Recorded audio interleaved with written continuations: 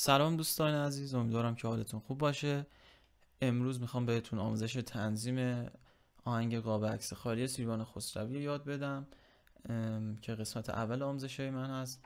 ببینید من قراره یه سری آموزش های تنظیم شروع کنم یه سری نکات کلیدی و ریز توی تنظیم به شما یاد بدم که برای خودم چندین سال تجربه زمان برده. ببینید برای یادگیری این آموزش ها شما نیاز نیست که نرم افزار خاصی داشته باشید. فرقی نمی‌کنه که افل استودیو باشید یا Pro باشید یا Cubase باشید فرق نمی‌کنه Studio One باشید. اینو اصلا مهم نیست. اینو فقط وسیله کار شماست نه علم شما. و من نکاتی رو بهتون یاد میدم که حتی نیاز به تجهیزات گرون قیمتی هم نداره برای ساختنش. و فقط و فقط تجربه من هست که می‌خوام براتون به اشتراک بذارم و امیدوارم ازش لذت کافی رو ببرید.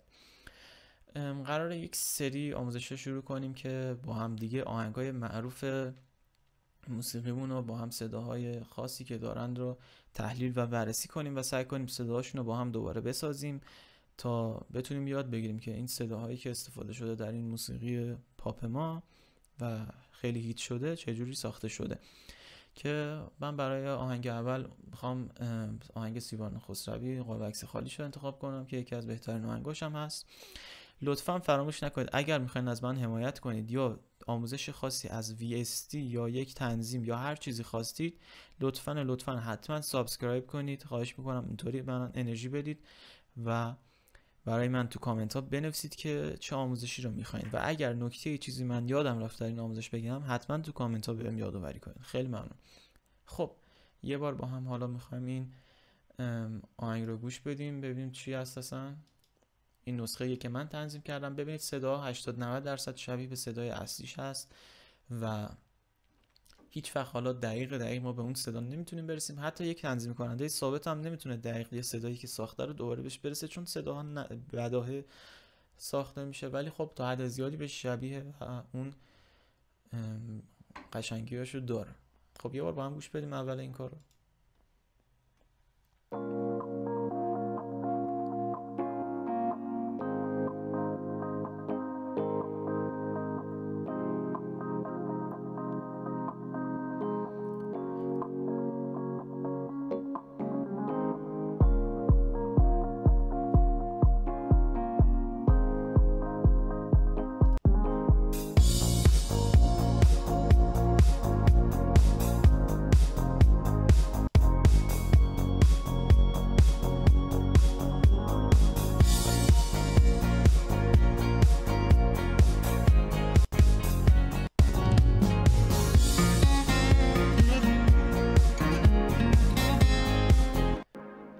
دوستان توجه کنید که این کار رو من هنوز به طور کامل میکسش نکردم و فقط قراره به شما من تنظیم و صداسازی یاد بدم نه میکس.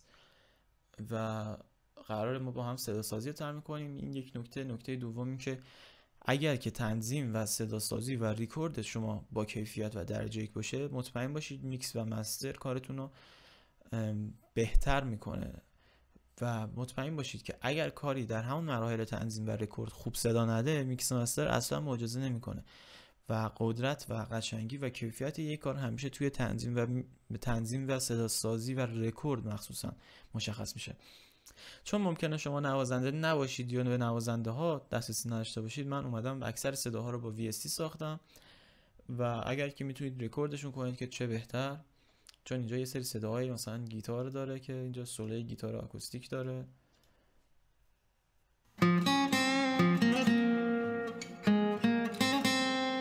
یک ریتم نوازی گیتار داره. گیتار کلین الکتریک داره و یک صدای ریتم نوازی آکوستیک داره حتی.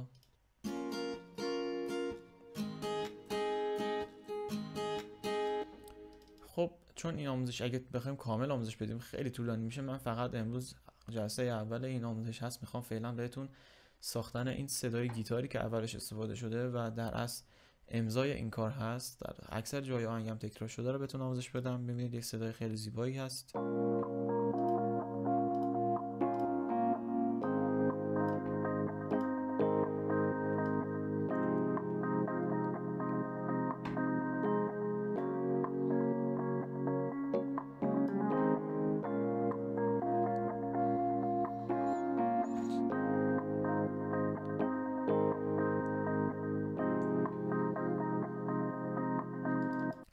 ببینید برای اینکه این صدای clean داشته باشید نیاز نیست حتما کار خاصی بکنید. ببینید یک VST هست که می‌تونید VST های زیادی هست که این صدای clean میده بهتون. حالا VST که من استفاده کردم و خیلی هم دوستش دارم Electric Sunburst هست که از کمپانی Session Guitarist هست که من خیلی دوستش دارم.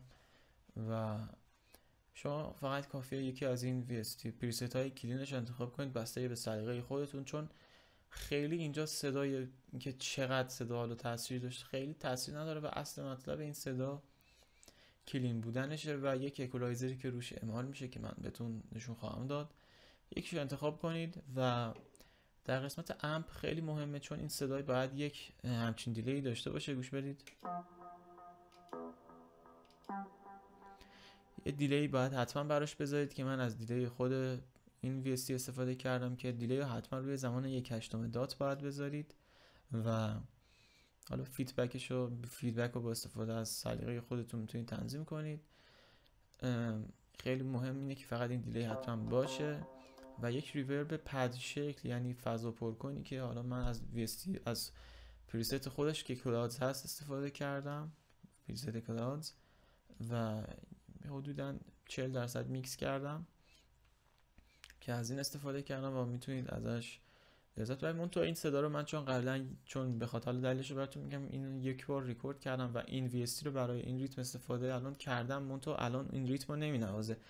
و ازش من یه ریکورد گرفتم و یه mixdown ی کردم که اینجا می‌تونید ببینید. ویوشو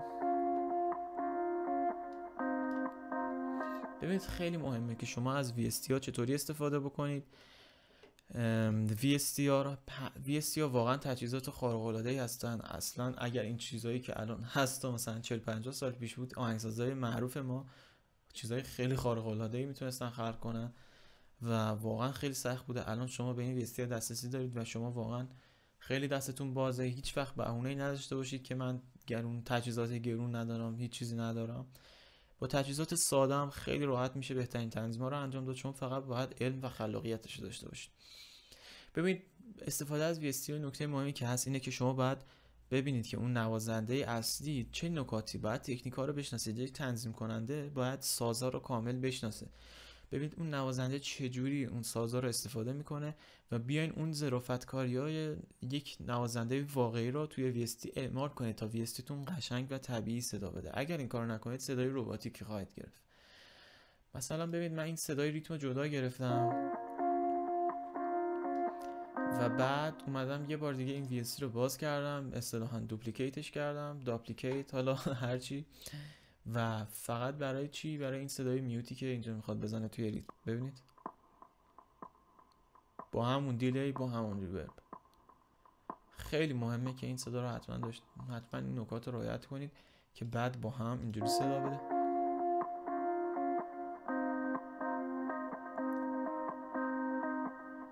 باید خیلی توجه کنید که به دینامیک صداتون به ولوسیتیاتون حتما باید توجه کنید. حالا توی تلفظهای انگلیسی من ببخشید نمی‌خوام بگم ولاسیتی یا داینامیکس خودمونی می‌خوایم صحبت کنیم. توجه کنید که اینها باید رعایت بشه تا یک صدای طبیعی بتونید بگیرید. خب داشتیم می‌گفتیم که این صدای گیتار چجوری به وجود اومده؟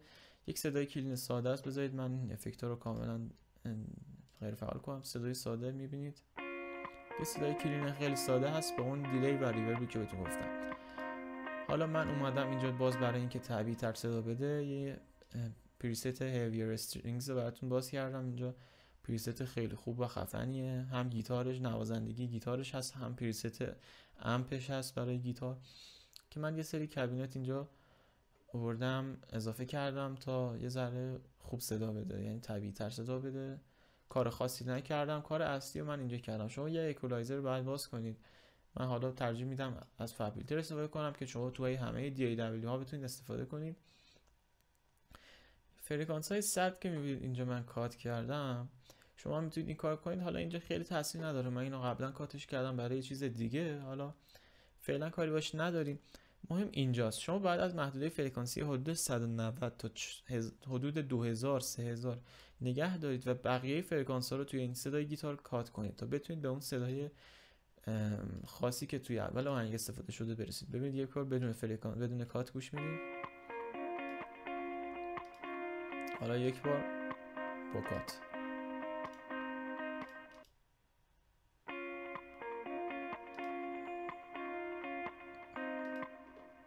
یه لحظه اجازه بدید. آها من این روشن نکردم. درست. یه بار بدون کات.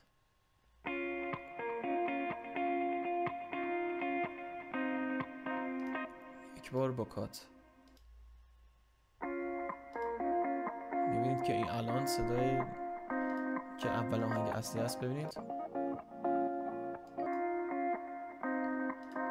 این بستگی به خودتون داره. می‌تونید یه ذره بیشتر اینجا رو cut کنید تا به اون صدا نزدیکتر بشید. و نکته آخر این که یک صدای keys یا کیبورد من به اینجا استفاده کردم. یه پیانوی stage پیانویی هست که من از VST Addictive Keys استفاده کردم preset خاصی نیست تنظیم خاصی انجام ندادم روی صداش. فقط یه Mark One stage piano که داخل این VST قرار داره اینو انتخاب می‌کنید. اینجا و یک ریورب ریزی هم بهش اضافه می‌کنید و تمام شد. این صدایی که این اول آهنگ هست و در خیلی از جای آهنگ تکرار میشه رو به دست بیارید. یه بار گوش میدیم با هم.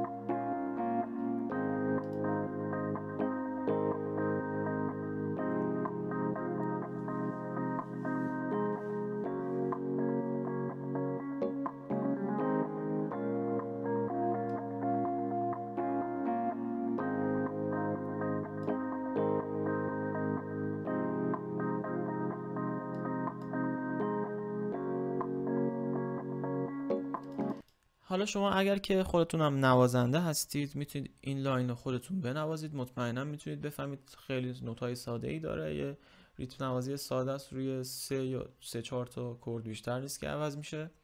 کل آهنگ هم همین سیکل آکوردی داره تکرار میشه و می‌تونید فقط و فقط کاری که باید بکنید اینه که یک delay بهش اضافه کنید. ping pong delay یا tap delay. حالا یک هشتم dot حتما باید باشه. یک reverb خیلی قوی و پددار. حالت پد شکل. و یک cut فرکانسی که می‌بینید این محدوده و این محدوده رو cut کنید و تمام شما به این صدا رسید. امیدوارم از آموزش هم لذت برده باشید. این قسمت اولش به پایان رسید. حتما حتما تمام فراموش نکنید که برای حمایت از من حتما subscribe کنید و حتما توی کامنت ها نظرتون رو بنویسید. نکته ای اگر یادم رفته بهم بگید و اگر تنظیم آهنگ خاصی و تحلیل آهنگ خاصی مد نظرتون برام بنویسید تا من حتما آموزشش رو براتون تهیه کنم و براتون به صورت رایگان آپلود کنم. خیلی ممنون. اوقات خوشی داشته باشید. خدا نگهدار.